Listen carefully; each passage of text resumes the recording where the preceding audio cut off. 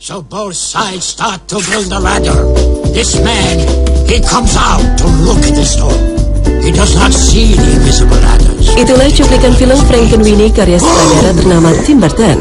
Film animasi hitam putih ini menceritakan tentang seorang bocah laki-laki bernama Victor yang mencoba menghidupkan kembali anjing sayangannya yang sudah mati bernama Sparky. Film yang menggunakan teknologi stop motion ini mendapat sambutan hangat dari para kritikus maupun penggemar film di seluruh dunia. Untuk membangun kedekatan dengan para penggemarnya, sebuah pameran The Art of Frankenweenie pun digelar di South Bank Center, London.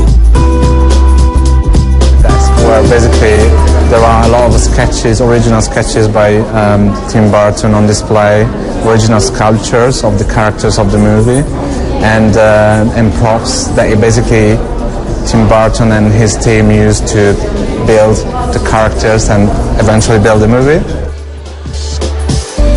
Dalam pameran ini pengunjung juga bisa melihat cara kerja yang rumit Tim Burton.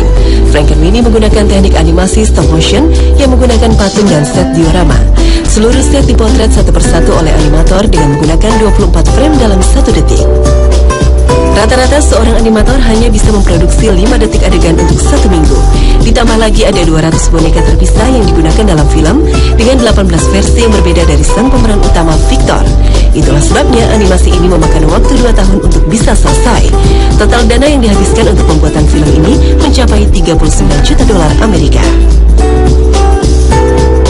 Motion animation is definitely a labor of love. It's it's sort of painstakingly slow for the animator because even though you'll prepare the sets and the scenes similar to the way you do in a regular an animated movie, and also similar to a live action movie where you're actually building sets and props and kind of setting everything up, the, when the day comes to start a shot, the curtains close and an animator is left to literally move every puppet in the scene one frame at a time. And so, yes, on a good day, we might expect, on a good week, we might expect an animator to do five seconds of animation. But certainly in a scene like this, where he would have to be responsible for animating all the characters in the scene, you would probably get a whole lot less. Probably more like two seconds a week.